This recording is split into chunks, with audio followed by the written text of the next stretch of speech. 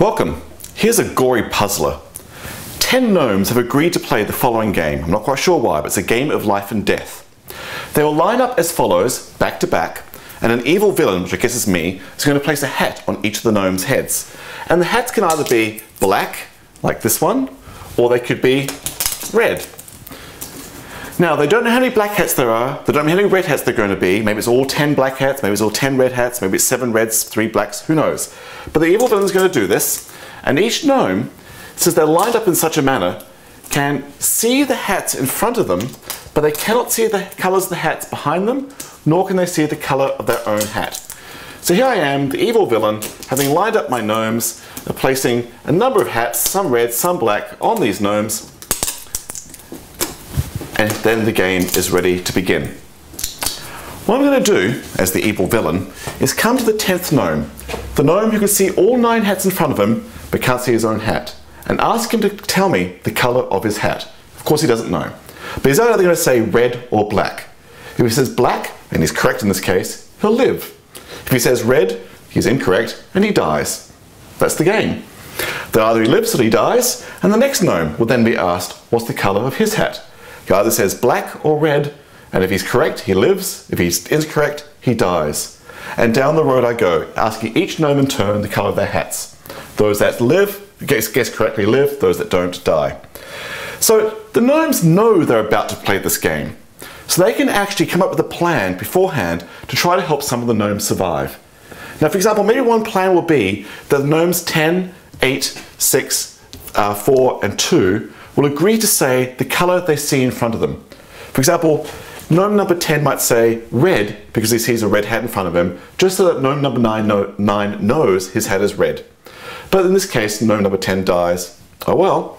Uh, gnome number uh, 8 will say black because he sees a black hat in front of them, and by luck he lives. Gnome number 8 will say black because he just heard black behind him, and so on. That way they can guarantee the survival of 5 out of the 10 gnomes. But actually they can come up with a better plan. They can actually guarantee the survival of more than 5 gnomes, gnomes and that's the puzzle.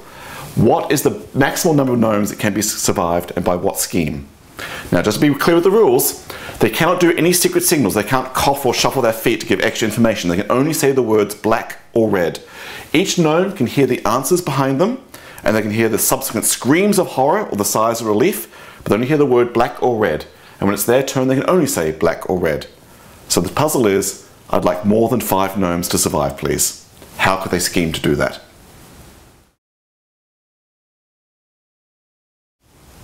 Here's a hint to the puzzle so the hint may not be much of a help.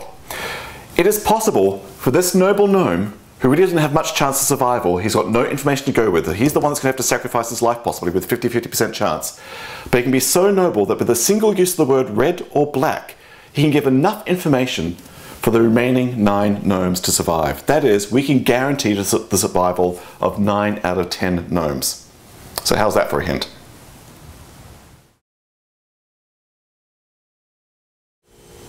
Okay, here's how this noble 10th gnome can save the lives of the remaining nine gnomes in front of him with the use of a single word. So the gnomes will agree before they play this game that this 10th gnome will just say the word black if he sees before him an odd number of black hats in front of him, so an odd number of blacks.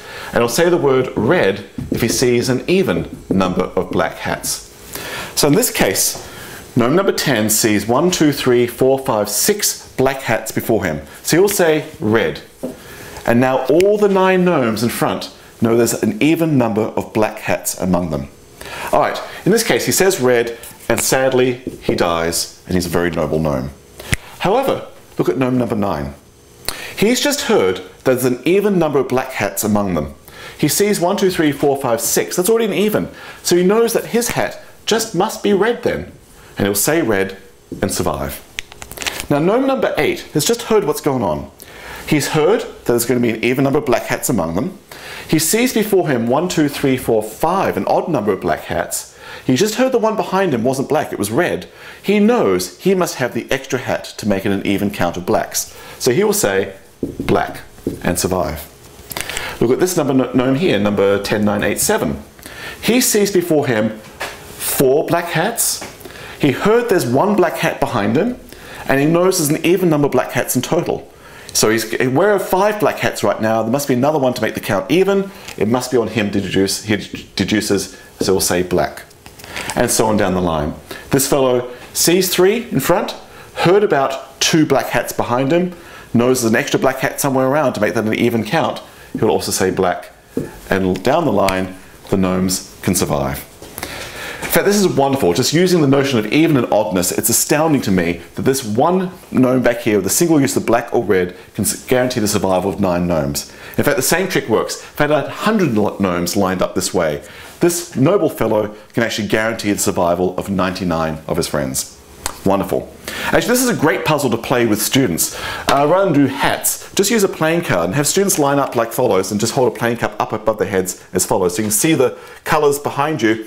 So it'd be just like seeing all the hats in front of you and off you go, play the game. You, the teacher or whoever, can be the evil villain and announce down the road. It's actually very hard to, to keep track of parity as you go along the line, trying to keep track of how many reds behind you and how many blacks in front of you and all the rest. But it's actually fun to play in practice. All right, a neat puzzle, a neat gory puzzle, all the sections of parity even an oddness. Love it. Thank you.